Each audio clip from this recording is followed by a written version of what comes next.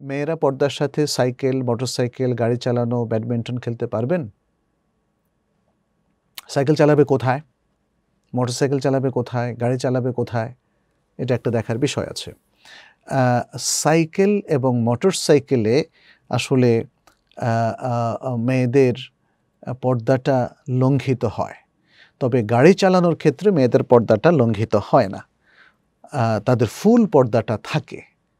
কারণ মেয়েদের দেহের সৌষ্ঠব সাইকেল এবং মোটরসাইকেল চালানোর সময় অন্যদের কাছে প্রকাশিত হয় এবং ক্লোজলি তার পুরো বডি বা তার স্ট্রাকচার দেখার সুযোগ তৈরি হয়।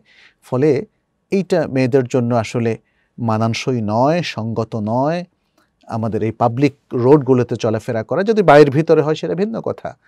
কিন্তু বাইরের ভিতরে তো আসলে কেউ সাইকেলও চালায় না, মোটরসাইকেলও চালায় না। গাড়ি চালানোর ক্ষেত্রে মেয়েদের সেটাই কোনো বাধা নেই। শুধুমাত্র দেখতে হবে এর কনসিকুয়েন্সটা কী? যদি মেয়েরা গাড়ি চালিয়ে দূরে চলে যেতে পারে এবং সেক্ষেত্রে দেখা যায় কখনো মেয়েরা অন্য ছেলেদের সাথে ডেটিংয়ে যেতে পারে সে যে কোনো ফাসাদে জড়িয়ে যেতে পারে, তখন সে জায়গায় কন্ট্রোল করতে হবে, যেটা ওমর আব্দুল খাতাব রাজি আল্লাহ তাল্লাহর বিভিন্ন সময়ে বিভিন্ন আদেশ নিষেধ থেকে আমরা দেখছি। তিনি তিন তালাক কে এক তালাক বলতেন, কিন্তু একসময় দেখলেন মানুষ সমানে তিন তালাক দিচ্ছেন তিনি জারি করে দিলেন যে, না, এখন থেকে তিন তালাক তিন তালাক। এভাবে তিনি যে, যারা সৈন্যরা বিদেশে থাকে তাদেরকে প্রতি চার মাসে একবার আসার সুযোগ করে দিয়েছেন। যদিও রাসুল সাল্লাহ সাল্লাম থেকে এটা ওইভাবে বলা হয়নি। তাহলে গাড়ি চালানো মানে কার চালানো, এইটা মেয়েদের জন্য শরীয়তের সাথে কোনো খেলাফ নেই।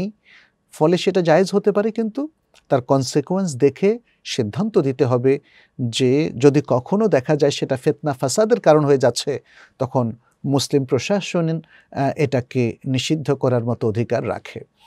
ব্যাডমিন্টন খেলতে পারবেন কি না হ্যাঁ ব্যাডমিন্টন কিংবা এই ধরনের যে খেলাগুলোর মধ্যে শারীরিক শ্রম আছে, ব্যায়াম আছে, সেগুলো মেয়েরাও খেলতে পারবে।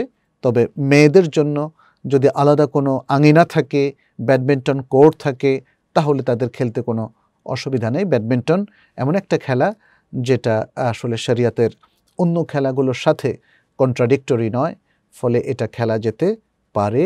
তবে মনে রাখবেন, আজকে ব্যাডমিন্টন হোক আর অন্য যে কোনো খেলাই হোক, মেয়েদেরকে পাবলিকলি খেলতে দেওয়া হচ্ছে এবং সেটাকে টিভিতে রিলে করা হচ্ছে এবং এই সমস্ত কারণে খেলার মাধ্যমে যদি মেয়েদের দেহসষ্ট প্রকাশ করা হয়, তারা স্বল্প বসনা হয়ে খেলে এবং পুরুষদের সামনে চলে আসে এবং পুরুষরা তাদের খেলা দেখে, তাহলে সেই খেলা তাদের জন্য জায়েজ হবে না।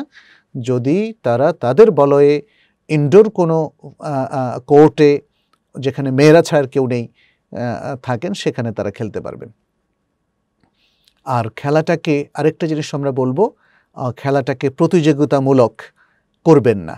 অর্থাৎ যেটা আমরা আজকে ওয়ার্ল্ড কাপ দেখি কিংবা এই ধরনের বিভিন্ন মানে শিল্ড অথবা বিভিন্ন রকম প্রতিযোগিতার আসর করা হয়। সেখান থেকে কোটি কোটি লাখ লাখ টাকা ইনকাম করা হয়। প্রতিযোগিতার এই সিস্টেমটা ইসলামের সাথে সাংঘর্ষিক। অতএব খেলাটা খেলতে হবে শুধু ব্যায়ামের জন্য এবং শারীরিক ফিটনেসের জন্য।